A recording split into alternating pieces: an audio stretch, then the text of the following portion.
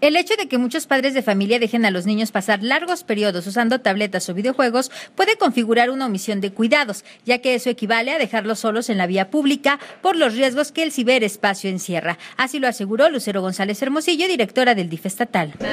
Puede llegar, puede llegar a, constituir, sobre todo porque es una ventana al mundo exterior. A veces es equiparable a, dejar al niño en, eh, en la vía pública. Es una ventana al mundo exterior que tenemos que saber controlar los padres de familia y que tam también no podemos eh, desatender nuestras propias responsabilidades. La gran y hermosa responsabilidad de ser padres no la podemos delegar en otras personas, mucho menos en, en aparatos, en comunicación hacia el exterior, donde no podemos todavía controlar con quién tienen contacto nuestros hijos, nuestras hijas, y que bueno, constituye de entrada un factor para el, el, el sedentarismo, para el aislamiento social y más allá también, bueno, son riesgos de orden social que los pone pues en un escenario de peligro eh, eh, si no ponemos atención, así como el escenario puede ser muy favorable en el conocimiento, en la recreación, en